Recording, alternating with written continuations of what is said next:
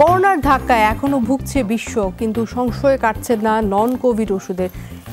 আর সমস্যাগুলো নিয়ে, কেননা হাসপাতালগুলোতে বেশিরভাগ রোগী এখন অন্য রোগের। তাই দর্শক কোভিড সহ সেসব রোগের চিকিৎসা নিয়ে আজ আমরা শুরু করছি আমাদের ডক্টরস অন কল যমুনা টেলিভিশনের আবারও শুরু হলো এই অনুষ্ঠানটি। আমাদের সাথে থাকছেন দেশ বরেণ্য বিশেষজ্ঞ চিকিৎসকরা আর আপনারা সরাসরি পেয়ে যাবেন আপনাদের সমস্যার সমাধান। পরামর্শ পেতে আমাদের ফোন করুন nine eight two four zero five two এই নাম্বারে।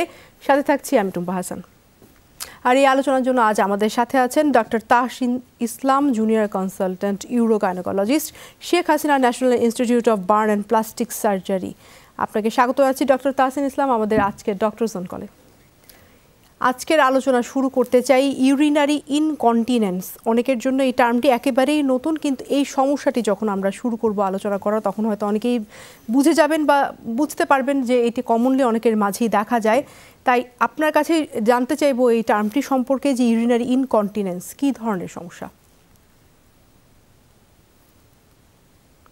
আসলে ইউরিনারি ইনকন্টিনেন্স একটা খুবই কমন সমস্যা। এর বাংলা অর্থ হচ্ছে প্রস্রাব ধরে রাখতে না পারা। এটা, এই সমস্যাটা যদিও পুরুষ মহিলা উভয়েরই হতে পারে, তবে মহিলাদের ক্ষেত্রে এই সমস্যাটা অনেক বেশি দেখা যায়। এবং দেখা যাচ্ছে যে আমাদের দেশের হয়তো ওরকম স্ট্যাটিস্টিক্স নেই, কিন্তু আমেরিকা, ইউরোপের মতো জায়গায় অ্যাবাউট থার্টি পার্সেন্ট পপুলেশনের মধ্যে এই সমস্যাটা দেখা যায়। যে তারা প্রস্রাব ধরে রাখতে পারে না যখন প্রস্রাব হওয়ার কথা না সেই সময় তার প্রস্রাব হয়ে যাচ্ছে। এই সমস্যাটাকে আসলে ইনকন্টিনেন্স বলা হয়।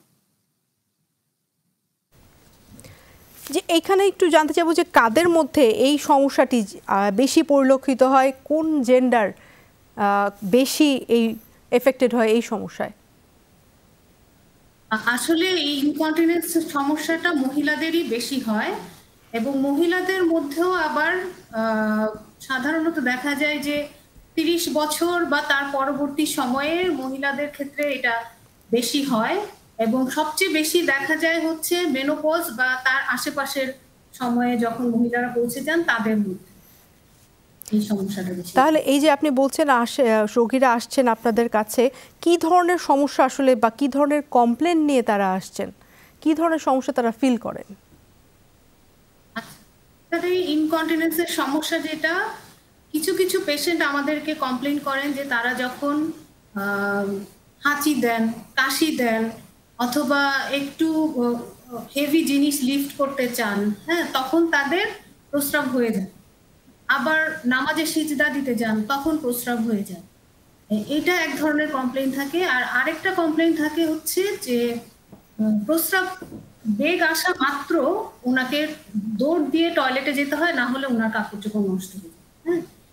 মেইনলি এই দুই ধরনের কমপ্লেন থাকে এবং সেইটার, এই দুই ধরনের কমপ্লেনের উপর ভিত্তি করে আসলে মেইনলি দুইটা ক্যাটাগরিতে আমরা ভাগ করি। আরও ক্যাটাগরি আছে, কিন্তু যেটা হচ্ছে হাঁচি কাশি দিলে হয়ে যাচ্ছে, সেটাকে আমরা বলি স্ট্রেস ইউরিনারি ইনকন্টিনেন্স আর যেটা পেশাবের বেগ আসা মাত্রই তাকে দৌড়ে বাথরুমে যেতে হচ্ছে, সেটাকে আমরা বলছি overactive bladder or urge incontinence এবং কিছু কিছু ক্ষেত্রে মিক্সড ইনকন্টিনেন্স মানে দুটোই থাকে। এটা এরকম দেখা যায়। তার মানে একই সমস্যায় যে স্ট্রেস যেটা ইনকন্টিনেন্স এবং ওভার একটি ব্লাডারের যে প্রবলেম সেটি মিক্সড থাকতে পারে মানে একজনের এই দুটো সমস্যা একই সাথে থাকতে পারে। সেক্ষেত্রে জানতে চাইব কারণগুলো কিন্তু এর মধ্যে আমাদের সাথে একজন দর্শক যুক্ত হয়েছেন তার কাছ থেকে প্রশ্নটি দিতে চাই। দর্শক কে বলছেন কোথা থেকে বলছেন নাম বলে প্রশ্নটি করুন।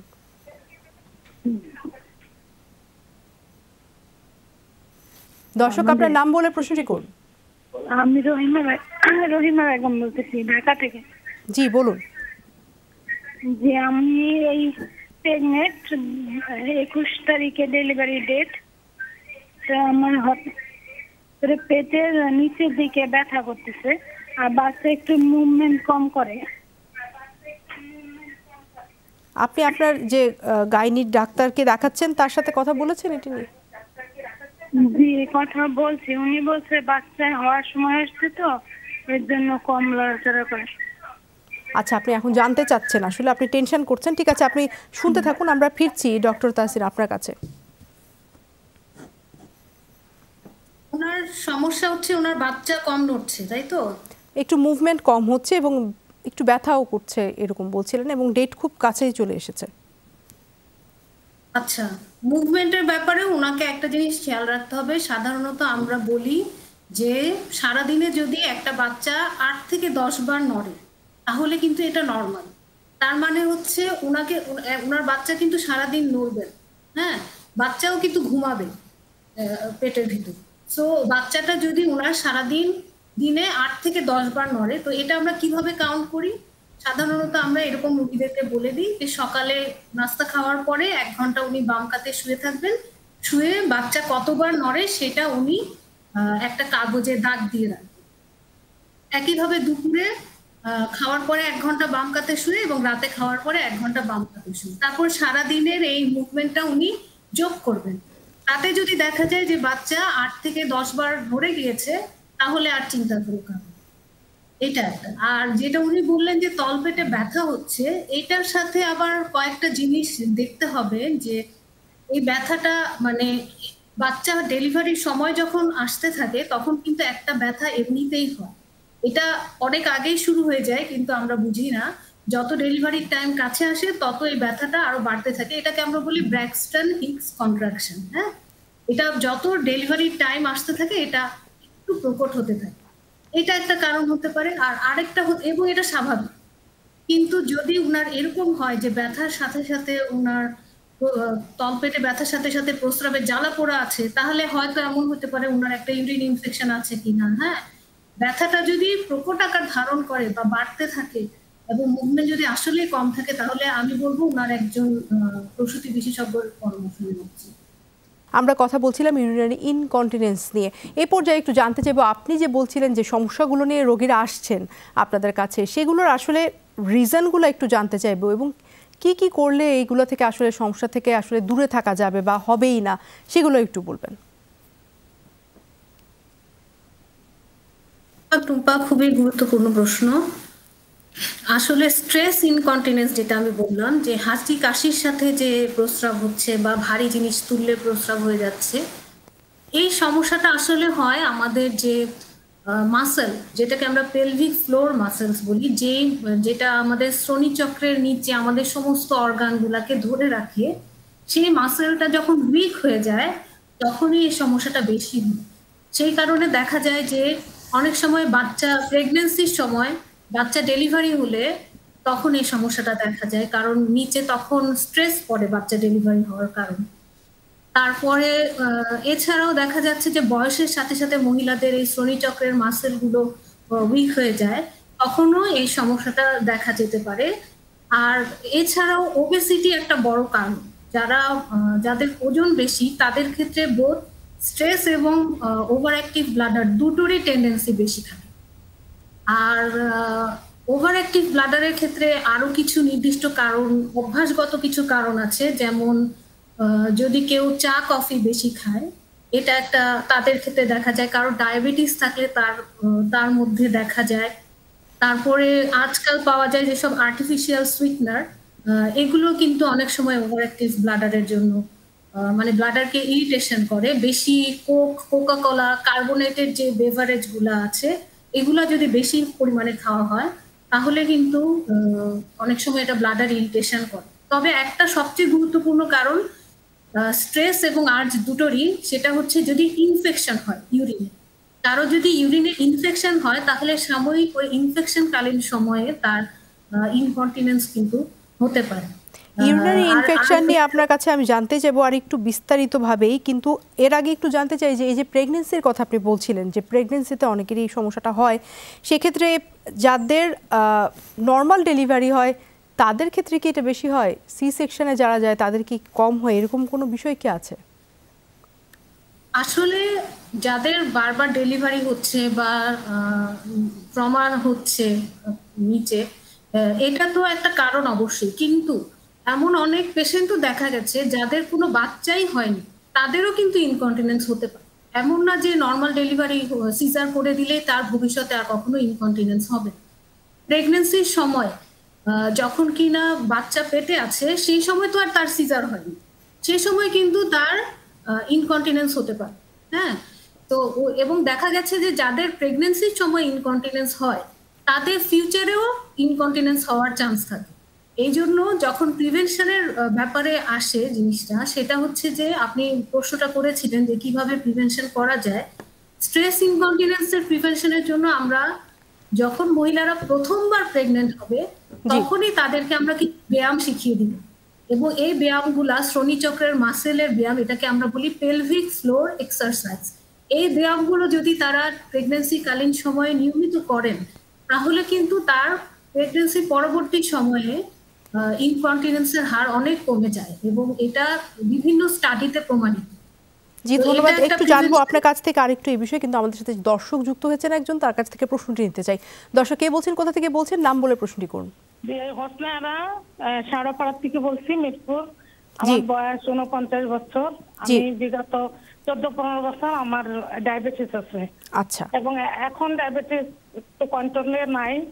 কন্ট্রোল করার চেষ্টা করতেছি। আমি ওষুধ খাই ডায়াবেটিস প্রেশারের জন্য কিন্তু আমার এই যে ইউরিন আমি কন্ট্রোল করতে পারি না। আমার আমাদের সময় যখন চিন্তা করি তখন আর কি আমার ইউরিন বের আপনি কি কোনো ডাক্তার দেখিয়েছেন এই সমস্যার জন্য? না না এর জন্য আমি কোনো ডাক্তার দেখাইনি। তাহলে এই অনুষ্ঠানটি আপনি দেখতে থাকুন কারণ আমরা কিন্তু আলোচনা করছি এই বিষয়টি নিয়েই কথা বলছি। তাও আরও আপনার এই সমস্যাটা নিয়ে আরেকবার আমি কথা বলব। আপনি দেখতে থাকুন এবং জানুন যে আসলে কাকে দেখাতে হবে কার কাছে জি। আমার হাতে দুইটা বেবি সিজার এবং আমার ইউটেরাস তো ইউটেরাস নাই প্লাস ওভার ইউতেও সমস্যা ছিল ওটাও রিমুভ করা হয়েছে। এবং আমার তলপেটটা বেশ বড়। একটু আচ্ছা। প্রেশার হলে আমার আর কি ইউরিনে ব্যাগ আসলে আমার সঙ্গে সঙ্গে বাথরুমে যেতে হয় না আমি কন্ট্রোল করতে পারেন না আপনি। ঠিক আছে আপনি হোসনারা শুনতে থাকুন আমরা ফিরছি। ডক্টর তাহসিন আপনি শুনছিলেন সমস্যার কথা যেটি নিয়ে আমরা কথা বলছি সেটি নিয়ে আসলে প্রশ্ন চলে এসেছে একটা। আর সমস্যাটা আমি শুনেছি। তো আমার মনে হয় উনি অনুষ্ঠানের শেষ পর্যন্ত ওনার উত্তরগুলো পেয়ে থাকেন। তো ওনার যে সমস্যাটা আছে, সেটা আসলে আমি প্রশ্ন শুনে যতটুকু বুঝলাম যে এটাকে আমরা ওভার অ্যাক্টিভ ব্লাডার মানে প্রস্রাব আসার সাথে সাথে ওনাকে দৌড় দিয়ে যেতে হয়। তা না হলে উনি প্রস্রাব ধরে রাখতে পারেন না। এবং এটার জন্য ওনার দুটো রিস্ক ফ্যাক্টর তিনটা রিস্ক ফ্যাক্টর আছে। একটা হলো যে ওনার বয়স ওনার উনপঞ্চাশ বছর। কাজে উনি মেনোপোজের কাছাকাছি এবং ওনার অলরেডি সার্জিক্যাল মেনোপোজ সম্ভব হয়ে গেছে মানে জ্বরের ফেলে দেওয়া হয়েছে। তো এটা একটা কারণ। দ্বিতীয় হচ্ছে যে ওনার ডায়াবেটিস ডায়াবেটিস যাদের থাকে, তাদের কিন্তু ওভার অ্যাক্টিভ ব্লাডার বেশি। আর তৃতীয় আরেকটা কারণ আছে, সেটা হচ্ছে আমার শুনে মনে হলো ওনার কিন্তু ওজন বেশি। হ্যাঁ তো ওজন যদি বেশি থাকে তাহলেও কিন্তু এই সমস্যাগুলা হতে পারে। তাহলে এর মধ্যে কিন্তু প্রিভেনশনের আপনি কতগুলা মানে চিকিৎসা কতগুলো উপায়ও কিন্তু আমরা শুনে ফেললাম। একটা হলো ওজন বেশি তার মানে ওনার ওজন ডায়াবেটিসের কারণে নিয়ন্ত্রণ পর্যায়ে জানতে চাইব যে একটু ডায়াগনোসিসটা আসলে কীভাবে করেন আপনারা পেশেন্টের ডায়াগনোসিসের জন্য আহ, মূলত তার যে ক্লিনিক্যাল প্রেজেন্টেশন মানে তার যে কমপ্লেন সেগুলো এক- দিয়েই ধারণা করা যায় সমস্যাটা। তো কনফার্ম করার জন্য আমরা যেটা করি তাকে একটা ব্লাডার ডায়েরি দিই। ব্লাডার ডায়েরি বলতে বোঝায় হচ্ছে ডায়েরি মানে হচ্ছে রোজ নামচা, আর ব্লাডার ডায়েরি মানে হচ্ছে ব্লাডারের রোজ নামচা। মানে হচ্ছে তাকে একটা কাগজ লিখে, কাগজে ছক্কাটা কাগজ দিয়ে দেওয়া হয়, সেখানে সে কতটুকু পানি দৈনিক খাচ্ছে, কয়বার তার এরকম ইনকন্টিনেন্স এপিসোড হচ্ছে, এবং কখন, কোন ঘটনার সাথে হচ্ছে? হাঁচি দিলে হচ্ছে, কাশি দিলে হচ্ছে, নাকি প্রস্রাবের বেগ আসলে হচ্ছে? এগুলা সে নোট ডাউন করে। এই তিন দিনের রেকর্ড দেখলে আমরা আরও ক্লিয়ার হতে পারি জিনিসটা সম্পর্কে। এছাড়া আমরা আরেকটা যেটা করি, সেটা হচ্ছে রুটিনলি একটা urine test urine routine and microscopic examination এটা করি দেখার জন্য যে তার কোনো ইনফেকশনের কারণে এটা হচ্ছে কিনা তারপরে আরেকটা, এই এই এগুলোর মধ্যে দিয়েই আমাদের ডায়াগনোসিস হয়ে যায়। তারপরেও কিছু কিছু ক্ষেত্রে যখন মিক্সড টাইপ থাকে অথবা কমপ্লিকেটেড আগের চিকিৎসা পেয়েছে কিন্তু ভালো হয়নি। এই সমস্ত রোগীর ক্ষেত্রে আমরা ইউরোডাইনামিক স্টাডি বলে একটা স্টাডি আছে, সেটা করে থাকি। আর আরেকটা পরীক্ষা হচ্ছে আলট্রাসোনোগ্রাম, সেটাও রুটিনলি সব রুগীদের লাগে না। যদি কোনো রুগীর মনে হয় যে ইনকমপ্লিট প্রস্রাব হচ্ছে, তাদের ক্ষেত্রে কতটুকু প্রস্রাব থলিতে আসলে রয়ে গেল, এটা দেখার জন্য আমরা আলট্রাসোনোগ্রাম করে থাকি। একটু ছোট করে জানতে চাইব একটু আগে আপনি বলছিলেন যে ইউরিনারি ইনফেকশন যদি কারও থাকে সেক্ষেত্রে সেটি কেউ না করে আপনারা আসলে হয়তো ট্রিটমেন্টে যান না ফার্দার একটু জানতে চাইব এই বিষয়টি। আচ্ছা ইউরিনারি ট্র্যাক ইনফেকশন কিন্তু মহিলাদের মধ্যে খুবই কমন তো দেখা যায় যে যখন ইনফেকশন হয় তখন কিন্তু ব্লাডারের যে মাসেলগুলো ইরিটেটেড হয়ে থাকে এবং তার ঘন ঘন প্রস্রাব পায়। ইনকমপ্লিট প্রস্রাব হয় এবং তখন কিন্তু হাঁচি কাশি দিলেও প্রস্রাব জুড়ে যেতে পারে বা বার প্রস্রাবের বেগ আসলেও তাড়াতাড়ি যেতে যেতে প্রস্রাব হয়ে যেতে পারে। তো এই সমস্যাগুলো সবই তখন মাস্কিং হয়ে যায় যে এটা কি আসলেই ইনফেকশনের জন্যই হলো নাকি আসলে তার অন্য কোনো সমস্যা আছে সেই জন্য এটা হচ্ছে? সেই জন্য আমরা বেসিক প্রিন্সিপাল হচ্ছে যে আগে আমাদের ইনফেকশনটা কিওর করে নিতে হবে। কিওর করে নিয়ে নেওয়ার পরেও যদি তার এই কমপ্লেন পারসিস্ট করে তখন আমরা ধরে নিব যে না এটা আসলে তার হয়তো বা স্ট্রেস ইনকন্টিনেন্স বা ওভার অ্যাক্টিভ ব্লাডার বা অন্য কিছু। সেক্ষেত্রে ট্রিটমেন্টটা আসলে কেমন হচ্ছে? সেখানে কি মেডিসিন খেতে হচ্ছে? নাকি কোনো সার্জারি লাগবে? নাকি এক্সারসাইজ করলেও হবে? আর যাদের একসাথে দুটাই আছে তাদের ক্ষেত্রেও ট্রিটমেন্ট কেমন হবে সেটা একটু বলবেন। ট্রিটমেন্টের ব্যাপারে হচ্ছে যে প্রথমেই আমরা বলব যে behavioural therapy and lifestyle modification মানে হচ্ছে যে তাকে ওজন কম, বেশি থাকলে ওজন কমাতে হবে এবং একটা ব্যায়াম আমরা বলি যেটা খুবই ইম্পর্টেন্ট পেলভিক ফ্লোর এক্সারসাইজ এটা তাকে করতে হবে রেগুলার করতে হবে। এটা আমরা ডাক্তাররা যখন উনি আমাদের কাছে দেখাতে আসবেন, আমরা এটা শিখিয়ে দেই কি করে আমাদের শ্রমিচক্রের মাসেলের ব্যায়ামটা করতে হবে তো এই ব্যায়ামটা যদি উনি করেন রেগুলার এবং সেই সাথে যদি চা, কফি বেশি খান আমরা বলি যে সেটা কমিয়ে দিতে হবে। রাত্রেবেলার দিকে পানি কম খেতে বলি, কারণ অনেক পেশেন্টদের যাদের ওভার অ্যাক্টিভ ব্লাডার থাকে, তাদের রাতে ঘুমের মধ্যেও কিন্তু ইনকন্টিনেন্স হয়ে বিছানা হয়ে যায়। এই জন্য যাদের ওই ধরনের কমপ্লেন থাকে, তাদেরকে আমরা কিন্তু বলি যে পানিটা লিমিট করতে রাতের বেলা। আর এছাড়া এইগুলো দিয়ে মোটামুটি যদি ইমপ্রুভমেন্ট হয় ভালো, না হলে আমরা কিছু ওষুধ দিই। ওষুধের মধ্যে আছে স্ট্রেস ইনকন্টিনেন্স আসলে ওষুধে খুব একটা কাজ হয় না। যদি দেখা যায় যে বিহেভিয়ারাল থেরাপি এবং এক্সারসাইজ লাইফস্টাইল মডিফিকেশনে তার ইমপ্রুভ করছে না এবং ডিগ্রিটা প্রবলেমের প্রবলেমটা অনেক বেশি, তখন কিন্তু আমাদের অপারেশনে যেতে হবে। তো স্ট্রেস ইনকন্টিনেন্সের জন্য বিভিন্ন ধরনের অপারেশন আছে, তবে কল্প সাসপেনশন বলে একটা অপারেশন এবং স্লিং আজকাল পশ্চিমা দেশগুলোতে ওই স্লিং অপারেশনটাই বেশি করা হয়। তবে স্লিং এ বেশ ইউজ করা হয়, যেটা হচ্ছে এক ধরনের সিনথেটিক ম্যাটেরিয়াল কিছু কমপ্লিকেশন হতে পারে। তার মানে যারা এই ধরনের সমস্যায় ভুগছেন তারা আহ, অতি সত্বর আনকন্ট্রোল যারা ইউরিনারি লিকেজ প্রবলেমে ভুগছেন তাদের জন্য বলছি যে তারা অতি সত্বর একজন ইউরো গাইনোকোলজিস্টের কাছে যাবেন এবং প্রপার ট্রিটমেন্টের মাধ্যমে এই সমস্যার থেকে সে সেরে উঠবেন। সেটাই আপনাকে অসংখ্য ধন্যবাদ। ডক্টর তাহসিন ইসলাম আপনার মূল্যবান সময় থেকে আজ আমাদের সময় দিয়েছেন। আর দর্শক এই ছিল ডক্টর জন কলে আজকের আয়োজনে। দেখা হবে আগামী পর্বে। ততক্ষণ পর্যন্ত আপনারা সবাই ভালো থাকুন সুস্থ থাকুন।